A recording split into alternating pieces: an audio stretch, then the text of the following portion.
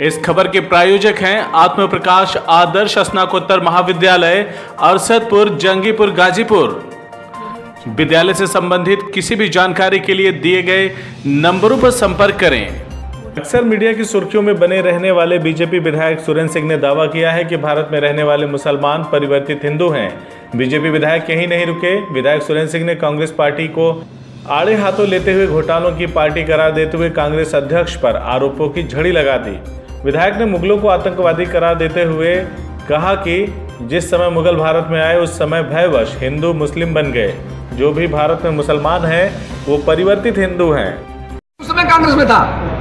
लेकिन व्यक्तिगत रूप से उस कांग्रेस की मैं बात करता हूँ, जिस जो कांग्रेस नेहरू के प्रधानमंत्री के रूप में कुर्सी पाई। उसके पहले का कांग्रेस कांग्रेस नहीं था वो भारत का कांग्रेस था। नेहरू की कुर्सी पाने के बाद से वो नेहरू परिवार का कांग्रेस हो गया। तो नेहरू परिवार का कांग्रेस देश चलाया है कांग्रेस देश नहीं चलाया। सर एक बात पहले का कांग्रेस देश नहीं चलाया है नेहरू का कांग्रेस देश चलाया है। नेहरू जी के बाद कौन? आ तो इंदिरा जी इंदिरा जी के बाद कौन?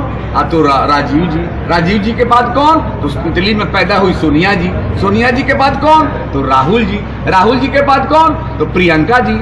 प्रियंका जी के बाद कौन? तो हो सकता है it be possible that any any person who who will burn in who will burn in Italy in in future, he will say that I am I am son of Rahul Gandhi and I am I am जो है president of Congress party Rafale के सवाल पर विधायक ने कांग्रेस को घोटालों की पार्टी बताया। साथ ही विधायक ने दावा किया कि कांग्रेस घोटाला देखना हो तो इटली जाकर देखिए।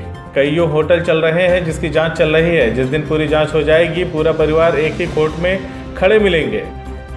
अमेठी घोटाला करने वाले लोग हैं। वो फोर्स घोटाला करने वाले लोग हैं और इनका घोटाला देखना है तो घोटाला देखना है तो हम तो कहते हैं कि इनका घोटाला देखना ही किसी को है। तो जा करके इटली का देख ले, इनका दर्शन। इनके भारत सरकार यदि चाहे तो सीबीआई लगा करके पता कर सकती है, इटली में इनका इनका होटल कहाँ से खरबों रुपए का होटल कहाँ चल रहा है? एक नहीं एक नहीं कईयों चल रहा है। अब किस पार्टी? सीबीआई जाँच नहीं कर रही है। कौन? क्योंकि होटल्स की अब देखिए जाँच तो समय से ही होता है। हो रहा है हुआ तो जो आपके जो इनके अपने दामाद इनके बहनोई को जो दिए थे लोग नेशनल हैरान प्रेस था ना उसमें दिए थे तो हुआ कि नहीं हुआ? लेकिन संवैधानिक परिस्थितियाँ है अब जाँच का भी क्रम होगा तो एकाएक जाँच करके नहीं ना सजा कोई दे देगा। जाँच चल रहा है, जाँच चलेगा। और जिस दिन जाँच प्रमाणित हो जाएगा मेरे भाई। आप लोग देख लीजिएगा कि दामाद भी उसी कोर्ट में, बहन भी उसी कोर्ट में, और मैं और और राहुल जी भी उसी उसी जो है कोर्ट के नेता माने जाने लगे। ये लोग का से समाज देश देश का भारत का शोषण लोग किए केवल जो है इसके नाम पर आज देश की दुर्दशा है। वो शुद्ध रूप से इसीलिए है कि प्रथम कुर्सी पर पटेल की जगह नेहरू बैठ गए।